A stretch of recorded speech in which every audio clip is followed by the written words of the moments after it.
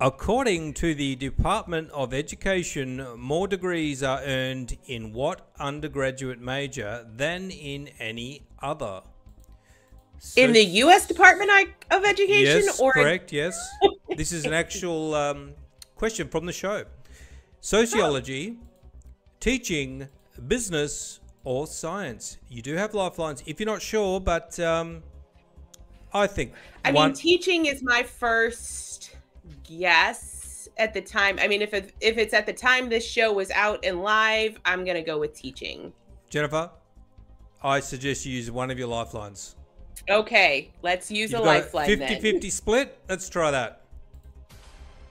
Oh, no. Okay, then we'll go with business. yes, it must be.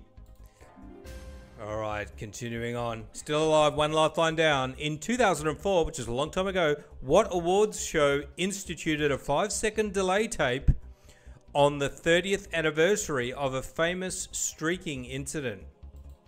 The Golden Globes, the Oscars, the Tony Awards, or the BAFTAs? I think it was the Oscars. Let's lock in the Oscars without any lifeline. Well done. You're at the $1,000 safe mark. And you've got two lifelines left. You've got poll the audience and uh, 30 seconds to Google it. That's what you